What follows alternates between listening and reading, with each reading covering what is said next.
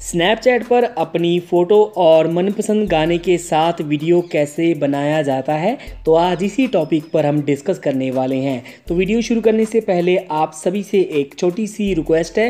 दोस्तों, अगर वीडियो पसंद आए तो वीडियो को लाइक ज़रूर करें और जिन दोस्तों ने अभी तक चैनल को सब्सक्राइब नहीं किया तो चैनल को सब्सक्राइब करके साथ में बेलाइकन को प्रेस ज़रूर कर लीजिए। तो चलिए बिना समय गवाए शुरू करते हैं आज का ये हमारा वीडियो। तो स्नैपचैट पर अपनी फ़ोटो के साथ वीडियो बनाने के लिए यहाँ पर मैंने स्नैपचैट एप्लीकेशन को ओपन कर लिया है।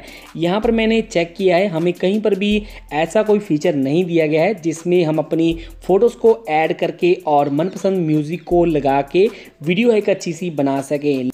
तो इस कंडीशन में हमें एक अलग से एप्लीकेशन की ज़रूरत पड़ेगी।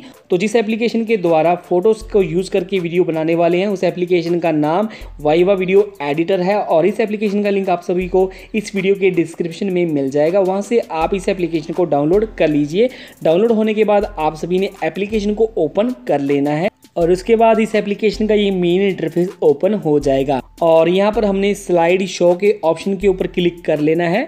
इसके बाद हमारे फ़ोन की गैलरी ओपन हो जाएगी। यहाँ पर आप सभी की फ़ोटोज़ नज़र आना शुरू हो जाएँगी। तो आपने उन फ़ोटोज़ को सिलेक्ट कर लेना है जिसके साथ आप वीडियो बनाना चाहते हैं। तो यहाँ से मैं अभी फ़ोटोज़ को ऐड करने जा रहा हूँ। आप यहाँ पर देख सकते हैं, सिंपल क्लिक करेंगे फ़ोटोज़ के ऊपर और उसके बाद नेक्स्ट पे क्लिक कर लेंगे।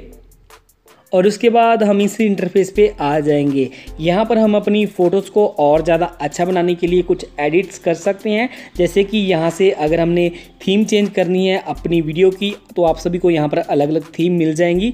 तो आपने थीम को डाउनलोड करना है। और उसके बाद थीम है जो आपकी वीडियो पर अप्लाई हो जाएगी। आप यहाँ से अपनी मनपसंद थीम्स को भी ऐड कर सकते हैं। थीम लग जाने के बाद अभी हम अपनी वीडियो के बैकग्राउंड में म्यूज़िक भी यहाँ से ऐड कर सकते हैं। तो उसके लिए म्यूज़िक पे क्लिक करेंगे।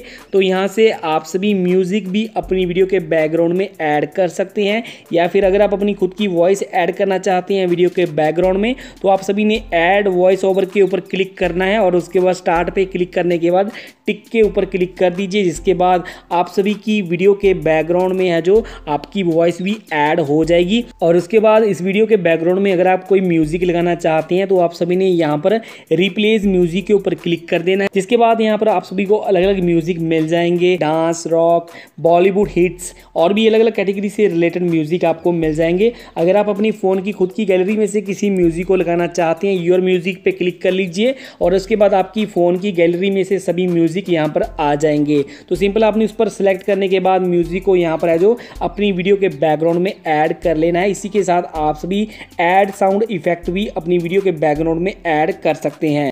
तो यहाँ पर म्यूज़िक लग जाने के बाद सिंपल हमने बैक के बटन पे प्रेस कर लेना है और उसके बाद क्लिप एडिट पे क्लिक करके आप सभी अगर अपनी वीडियो को एडिट करना चाहते हैं तो आप यहाँ पर अपनी क्लिप को एडिट भी कर सकते हैं। यहाँ से ड्यूरेशन पे क्लिक करके आप सभी अपनी वीडियो की ड्यूरेशन कम या फिर ज़्यादा भी कर सकते हैं। और उसके बाद आप सभी ने टिक पे क्लिक कर लेना है। और इसी तरह अगर आप अपनी वीडियो के ऊपर कुछ टेक्स्ट वगैरह ऐड करना चाहते हैं तो आप सभी ने टेक्स्ट के ऊपर क्लिक करके यहाँ पर है जो टेक्स्ट पर सिलेक्ट कर लेना है। तो यहाँ पर आप कुछ भी लिख सकते हैं, अगर आप वीडियो के ऊपर ऐड करना चाहते हैं और साथ में आप स्टाइल भी चेंज कर सकते हैं अपने टेक्स्ट का तो अपने स्टाइल पे क्लिक करके यहाँ पर है जो अलग अलग टेक्स्ट आपको मिल जाएँगे। आप सभी ने स्टाइल को भी यहाँ से सिलेक्ट कर लेना है। फॉन्ट चेंज कर सकते हैं आप अपने टेक्स्ट का तो फॉन्ट पे क्लिक करने के बाद आप सभी फॉन्ट भी यहाँ से सिलेक्ट कर सकते हैं। कलर भी अपने फॉन्ट का यहाँ से आप चेंज कर सकते हैं। और इसके बाद आप सभी अपनी वीडियो के ऊपर फ़िल्टर भी लगा सकते हैं तो फ़िल्टर पे क्लिक कर लीजिए। तो यहाँ पर आप सभी को अलग अलग है जो फ़िल्टर मिल जाएँगे तो आपने यहाँ पर है जो कैटेगरी सिलेक्ट करने के बाद अपने फ़िल्टर को यहाँ से है जो सिलेक्ट कर लेना है, जैसे कि आप यहाँ पर देख सकते हैं। फ़िल्टर है जो यहाँ पर लग चुका है। तो वीडियो एडिट हो जाने के बाद सिंपल हमने सेव के ऊपर क्लिक कर लेना है, जिसके बाद हमने यहाँ पर नॉर्मल फोर रेजोल्यूशन सिलेक्ट करना है और हमारी वीडियो एक्सपोर्टिंग होना शुरू हो जाएगी, आप यहाँ पर देख सकते हैं। तो आप यहाँ पर देख सकते हैं फ़ोटोज़ और मनपसंद म्यूज़िक के साथ वीडियो बनकर तैयार हो चुकी है। फ़िलहाल मैंने म्यूज़िक को यहाँ पर म्यूट कर दिया है और अभी हमने स्नैपचैट एप्लीकेशन को ओपन है, जो कर लेना है। तो चलिए मैं ओपन कर लेता हूँ। स्नैपचैट ओपन हो जाने के बाद हमने यहाँ पर अपनी गैलरी के ऊपर क्लिक है, जो कर लेना है। कैमरा रोल में आ जाने के बाद आपको फ़र्स्ट पे ही अपनी वीडियो मिल जाएगी, जो आपने अभी रेडी की होगी।